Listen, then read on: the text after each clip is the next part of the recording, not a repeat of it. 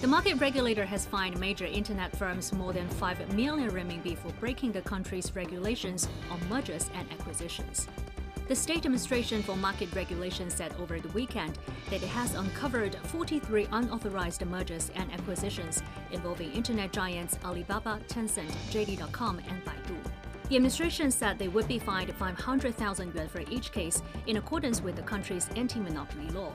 Alibaba and Tencent were involved with most violations, each accounting for 12 of the 43 violations.